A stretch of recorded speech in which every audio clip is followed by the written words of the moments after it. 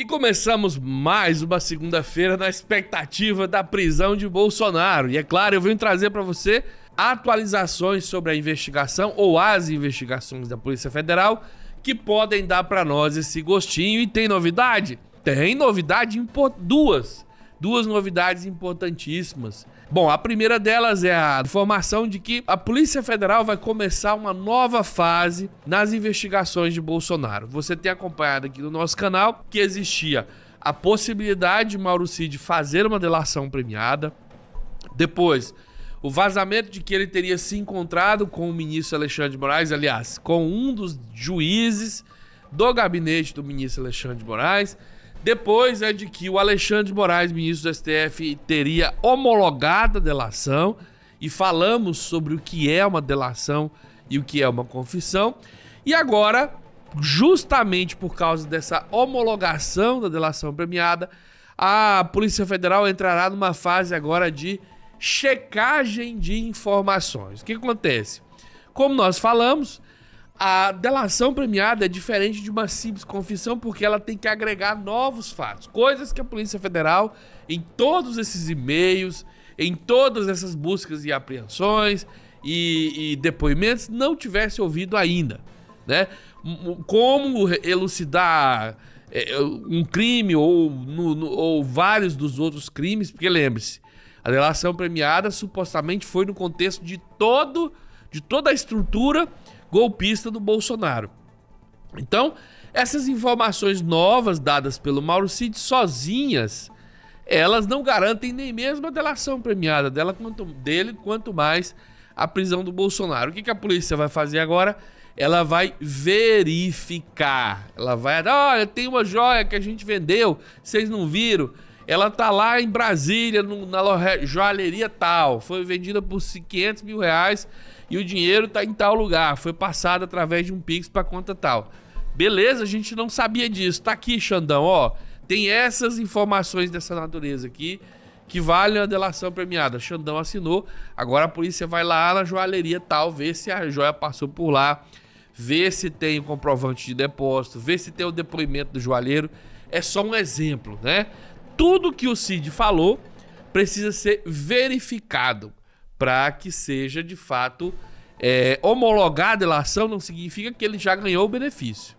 Homologar a delação significa que ele foi ouvido já num contexto de é, perdão. É que nem quando seu pai chamava você e falava assim: se você confessar agora, a pena vai ser menor. Aí ele vai, assina o contrato, aí você começa a falar, entendeu? Então, assim, a delação premiada tá assinada, vão verificar as provas e se houver as provas lá, a coisa vai ficar muito mais difícil para o Bolsonaro, porque isso, essa fase, ela pode incluir, inclusive, novas buscas e apreensões, novos depoimentos e novas prisões preventivas. é, e eu, eu acho que vem coisa boa, você sabe por quê? Porque o Mauro Cid foi até libertado da cadeia. Ele deve ter falado tanto que o Xandão falou: tá bom, agora pode soltar o peão, porque não tem mais razão de ele atrapalhar a investigação nenhuma. Acho que ele contou tudo. E tá lá de tornozeleira eletrônica, né? Em casa, tornozeleira da marca Mi Joias. Talvez era essa a linha de grife de joias que a Michelle queria inaugurar, né? Rony, você disse que são duas coisas. Cadê a segunda coisa? A segunda coisa talvez seja melhor ainda que essa primeira. É difícil escolher. Bom, há informações de que a Polícia Federal já conseguiu fechar um acordo de colaboração internacional com o FBI. É, você lembra que parecia doideira, mas não, aconteceu. E dizem que agora é começar a receber informações.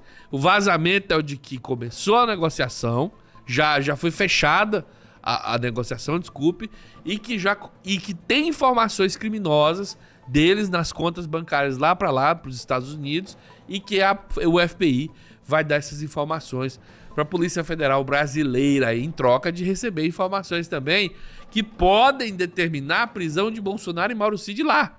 Porque a gente já falou sobre como funciona a sonegação de impostos e a cadeia certa lá nos Estados Unidos, né? Então tá aí, eu vou trazer para você e você deve estar tá esperando aí a maravilhosa Daniela Lima com sua matéria na, na Globo News para que da boca da própria grande imprensa você escute o que eu acabei de dizer, para não dizer que é um esquerdista falando, né?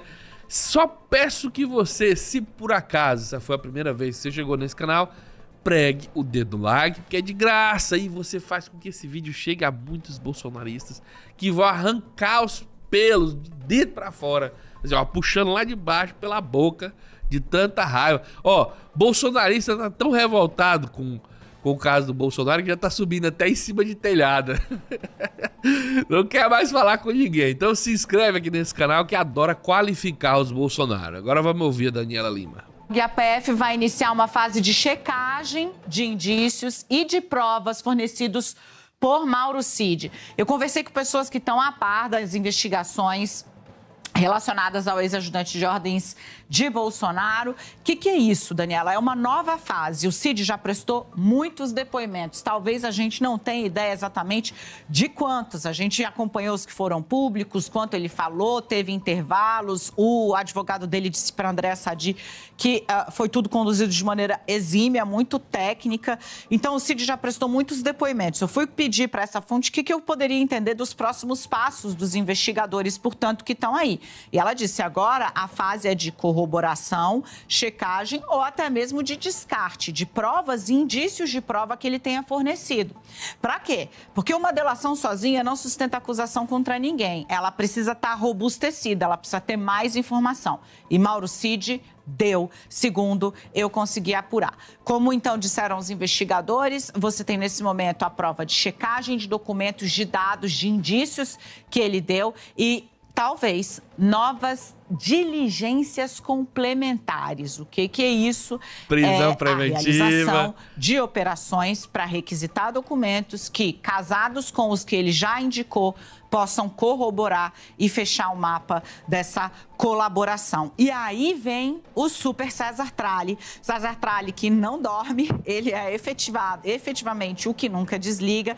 César Tralli traz a primeira medida uh, efetiva nesse processo de checagem. A partir dos depoimentos prestados pelo Mauro Cid, escreve o César Tralli, a Polícia Federal concluiu o pedido de cooperação internacional dos Estados Unidos. Então, inicia a checagem após a homologação da delação e o Tralli já traz uma primeira mexida, uma primeira medida concreta. Segundo ele, as fontes garantem que a documentação está robusta e que tem os indícios de crimes relacionados às contas dos investigados no exterior. E ainda tem, adicionaria o fato, eh, nem comentei no começo, que coisa boa também, de que o Augusto Aras sai em poucos dias. Não falta nem 10 dias para o Lula escolher o novo PGR e aí já temos o sinal verde para a denúncia ser feita. Olha, esse setembro promete, setembro promete. Aguarde, teremos a substituição do Procurador-Geral da República, que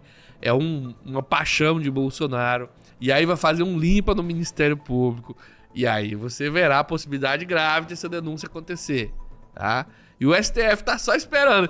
O STF tá que nem o Romário, que nem o o Neymar, que nem esses jogadores artilheiros da seleção, só na porta do gol esperando para chutar, assim, ó. De braço cruzado, porque já tá tudo lá. Já, as provas, elas já são públicas, sabe? Então é um negócio feio pro Bolsonaro. Se ele não for preso, se torna uma idiosincrasia internacional. Mais uma, quando Lula foi preso sem, sem motivo nenhum, e agora o Bolsonaro, com excesso de motivo, não vai preso. Se inscreva, compartilhe Siga nosso canal em, no, em todas as redes sociais que a gente volta com informações desse caso para você. Um abraço.